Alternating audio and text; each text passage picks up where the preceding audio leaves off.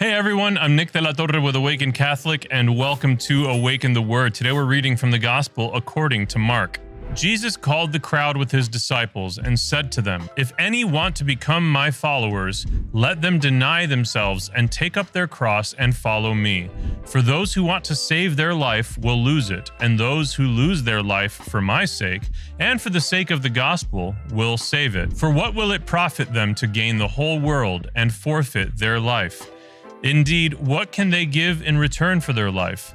Those who are ashamed of me and of my words in this adulterous and sinful generation, of them the Son of Man will also be ashamed when he comes in the glory of his Father with the holy angels. And he said to them, Truly I tell you, there are some standing here who will not taste death until they see that the kingdom of God has come with power. Once again, our Lord and Savior Jesus Christ, and blessed be his name, of course, let us never take it for granted, is telling us very directly what it looks like to be his follower, what it looks like to be a Christian. And and this is very helpful in an era, in a time, in a place where it is very very difficult to know truly what it looks like to be a Christian.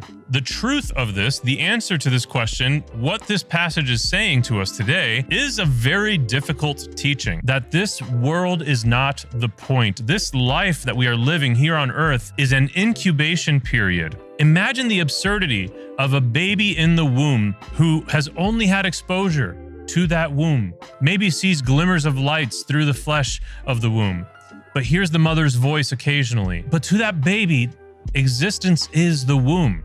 Yet you and I know on, on the outside of the womb that there is so much more. And similarly, we see glimpses of light and hear God's voice through sacred scripture, through prayer, through meditation. But what that tells us is that there is more that this life just like the womb is not the point it is an incubation period.